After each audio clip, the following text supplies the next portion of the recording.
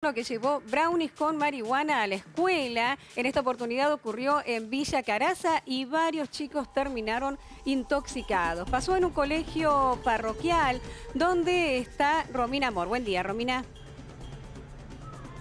Hola, buen día, Gaby. Es así, ¿no? Por segunda vez en el término de unos pocos días tenemos que hablar de gente intoxicada con este tipo de brownies elaborados con cannabis. El primero de los casos fue en un call center de Córdoba y ahora, lamentablemente, eh, las víctimas son chicos, chicos menores de edad, de 17 años, alumnos de este colegio del Instituto San Francisco de Asís, de Villa Caraza, que ayer terminaron internados, al menos siete de ellos, siete chicos adolescentes de 17 años terminaron internados, algunos de ellos incluso hasta anoche estaban internados, fuera de peligro, afortunadamente, pero bueno, la pasaron realmente muy mal estos chicos que eh, comieron un brownie elaborado con manteca de cannabis que trajo un compañero, un chico de 17 años que pertenece al sexto B de esta escuela. Ayer a la mañana decidió traer este brownie que se elabora justamente con manteca de cannabis, se lo ofreció a sus compañeros, no está muy claro si les dijo o no les dijo que estaba elaborado con manteca de cannabis, pero lo cierto es que los chicos lo comieron,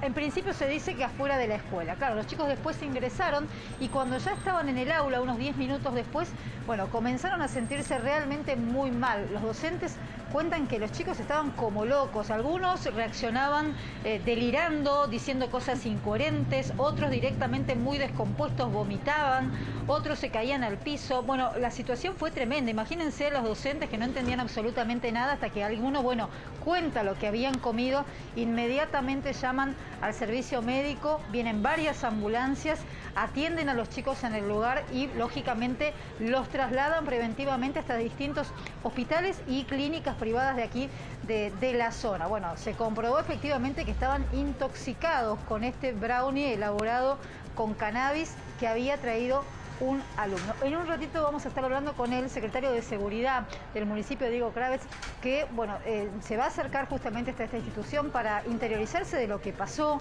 eh, de, cuál es el grado de responsabilidad, perdón, de responsabilidad de la escuela o, de este alumno que está identificado, que insisto es un chico de 17 años, es un menor de edad, que eh, es compañero de los chicos que terminaron intoxicados. De hecho, él también terminó intoxicado producto de haber ingerido esto. Y bueno, y lamentablemente los chicos que terminan, bueno, con, con varias horas de internación a partir de la descompostura que se agarraron comiendo este tipo de, brownie elaborado con cannabis. Así que en un ratito seguramente vamos a aportar un poco más de información. Aquí hablamos con los papás, algunos de ellos estaban enterados de la situación, muchos no, muchos recién ahora se están anoticiando. Este es un colegio parroquial que tiene primaria, tiene secundaria eh, y, tiene jardín de infantes. Em, los chicos, bueno, toda esta situación sucedió ayer a la mañana aquí afuera de la institución, pero los chicos se descomponen cuando te, te decía, ¿no? Ya estaban adentro del aula y los docentes empiezan a ver cómo empiezan a descomponerse, a vomitar, a delirar, toda una situación realmente tremendamente eh, grave. Digo, eh, por, suerte ninguno de los chicos está en peligro, ¿no? Pero podría haber sido potencialmente más peligroso, porque claro, uno no sabe en realidad cómo se elabora este tipo de cannabis, cuánto, cuánto cannabis fue puesto dentro de, esa, de, ese postre, de, este brownie.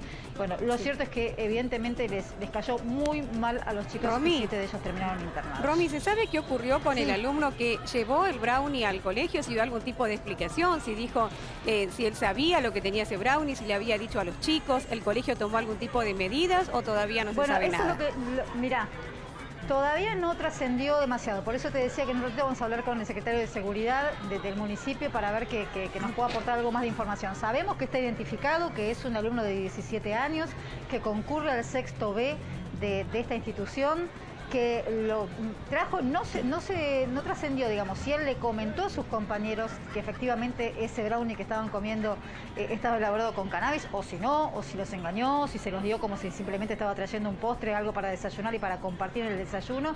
Pero bueno, está identificado, es un menor de edad, por supuesto. Él también tenemos entendido comió de eso, con lo cual también puede ser que sea uno de los internados. Pero bueno, lógicamente aquí las autoridades, en reto, vamos a ver si podemos también hablar con alguien del colegio, seguramente van a tomar algún tipo de sanción ¿no? hacia, este, hacia este alumno. Pero bueno, seguramente con el transcurso de las horas, em, Gaby, vamos a ir aportando un poco más de información de, este hecho que ocurrió ayer y que lamentablemente, insistimos, terminó con siete alumnos, siete adolescentes intoxicados e internados. Romy, por lo que vos contás, además cuando ocurrió esto dentro del aula y comenzaron a descomponerse los alumnos, a tener estas situaciones incluso eh, de delirio que padecían algunos, directamente lo vincularon con el consumo de ese brownie. Sí, sí, directamente, a ver, eh, los docentes, imagínate, estarían ya, me, imagino la situación, dando clases. Los chicos dicen que algunos se llegaron a parar arriba de los escritorios, que empezaron a gritar, em, algunos de ellos se desmayaron, otros vomitaban, otros deliraban.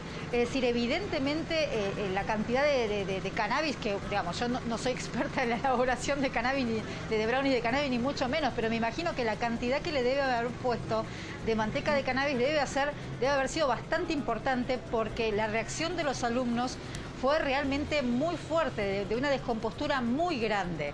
Eh, todo esto se sucedió dentro del aula, por supuesto el profesor que estaba a cargo, la profesora avisó a las autoridades, bueno, cuando vieron, empezaron a indagar, a preguntar, eh, allí alguno de los alumnos terminó contando lo que habían comido, lo que habían ingerido antes de ingresar a la escuela. Y a partir de ahí, por supuesto, lo que decimos, ¿no? Empiezan a llamarse a las ambulancias, los, médicos, los paramédicos que llegan al lugar, que empiezan a atender a los chicos. Y bueno, y se, determina el traslado a siete, eh, de siete de los alumnos a los hospitales, a los hospitales. clínicas privadas de la zona. Es decir, estamos hablando de una intoxicación grave, grave de estos chicos que incluso algunos de ellos todavía hasta anoche estaban internados. Bueno, Romy, estamos atentos a tu llamado para conocer el estado de salud de los chicos y también las medidas ¿no? que se están tomando. Muchas gracias.